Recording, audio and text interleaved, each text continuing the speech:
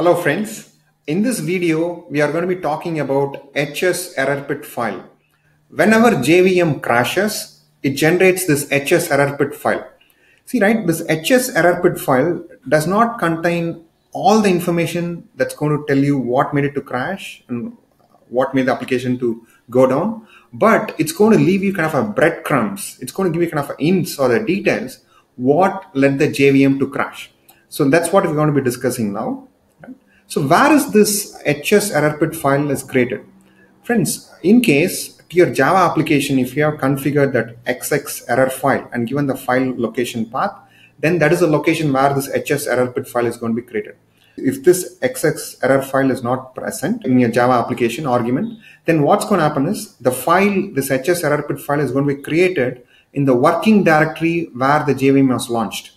And in case due to lack of uh, permission or any lack of disk space, if this file cannot be created in the working directory, it's going to be created in the temporary directory of on the device in which your JVM was running. Okay. So now, how to read this file, right? So this is a text file. So you can open any text editor and then you can look at it. We can still do, but the information would not be very clear and cryptic. So you want to use like a tools like a fastThread. So in this session, we will see how to read a HS file using the fastThread tool. So now let's go to fastthread.io. It is a free service. You can do a limited, there is a free tier. You can do a limited number of uh, free analysis. So now let me just sign in. I'm signing in. Okay, once I sign in, then I just need to upload my HS error file. So let me upload it. So have it here. Okay, so once I upload it, instantly this uh, file is analyzed and the report is generated. At the very top, it gives you kind of an overview. It tells you the kind of what JRE version in which this application was running on. It was running on 8.0. And what is the name of this HS error PID file? And this tells me the time at which the application crashed. So this application crashed on Tuesday, September 26, 2023 at 6 a.m. in the morning.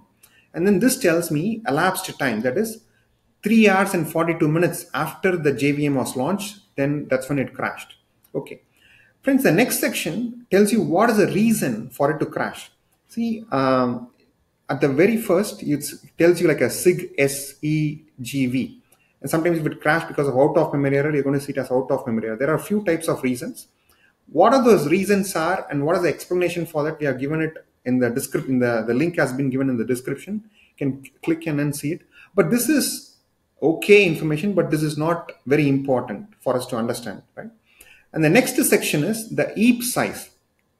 So this tells what was your JVM's size, memory utilization was. It gives you by the regions.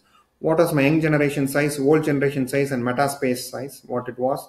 So in this case, the overall heap size was 43 gig and only 18 gig was used. So in case if you're going to have some memory related issues, it can, it will max out, right? You're going to see the used and the allocated to be almost maxing out. Right? And the next one section tells you what code or the library that this application was executing at the time of crash, right?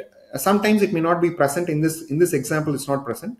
But however, in few other cases, you are going to see, like say you're going to see, it may report the line of code it was executing. You can see like this com buggy app, this story content push processor, this method, this is what it was executing. And sometimes it can tell you the library it was it was executing this library it can be present here right? okay. Now moving along the most important section in my opinion at least is what is the active thread? This is that section. That is what is the thread that was executing at the time of crash? So here at the time of crash you can see there is a Quartz scheduler thread which was executing and this is the code path in which it was executing you can see this application was uh, started out and it is uh, executing. And now we can see it is using a SAP connector. It was using a SAP driver to talk with the system, to kind of talk with the back SAP system. And this driver, apparently what has happened for in this case was running on a very old version of the code. So it was not compatible with, with the new operating system in which this application migrated. So that's when this crash happened. So once seeing the C here, I can see it's a COM SAP connection, right? So once we upgraded this driver then the problem went away. So you want to be focusing on this active thread, right? Okay, moving along. Sometimes when the crash happens, a core dump might be generated. And where is the path in which the core dump is returned into is going to be specified here in case the core dump was generated. Okay. And the next section is all threads, right? So this tells all the threads that were there in the application at the time of crash. So at the very uh, top here, it says the total thread count.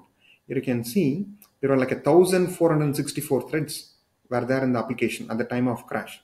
And here you can see it, it's not going to give you all the stack trace of all the threads, but it's going to give you the name of the thread and whether what state it is and what type of thread it is, whether it's a Java thread or native thread.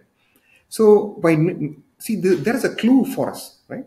Here I can see there's a lot of threads with this IO dispatcher. Like you can see this IO dispatcher 1208, IO dispatcher 1207. These are all the thread names. So by looking at the thread names, you can see whether there's any particular thread pool is growing or whether any th thread pool is shrinking, right? You can get the kind of a eye level sense. You can see there is a like 1400 plus threads are reported. What is the name? What is the state? And what type of thread it is, right? Okay. So now the next section is what are the arguments with which this application was launched? What are the JVM arguments with which it was launched? So you can take a look at it.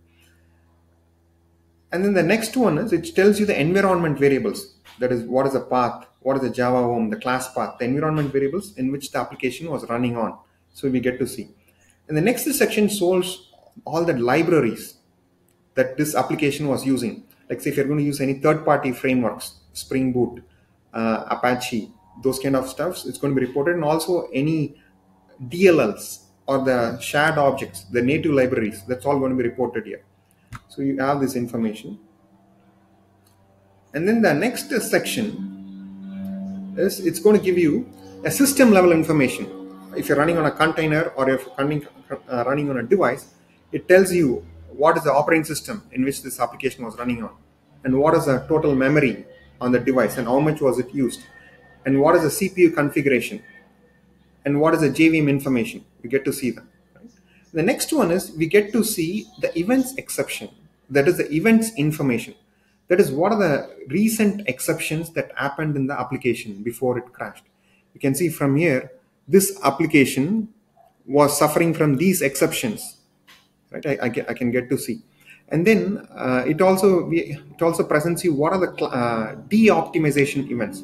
That is, JVM sometimes de-optimizes the code for a better performance. And similarly, like our classes gets redefined because of the bytecode instrumentation. If APM is running, right, they try to, when APM is running, they try to redefine our class definitions. So what are the recent class definitions that was redefined? I get to see them. And here is what are the recent compilation events that happened within the code at the, at the time of before the crash. So we get to see all this information. So HS error PID does not give you a kind of a complete information what made it to crash, but it gives you kind of a hints or the breadcrumbs what led it to crash, right? So this will come handy when you're trying to diagnose the JVM crashes. Okay, friends, thank you very much.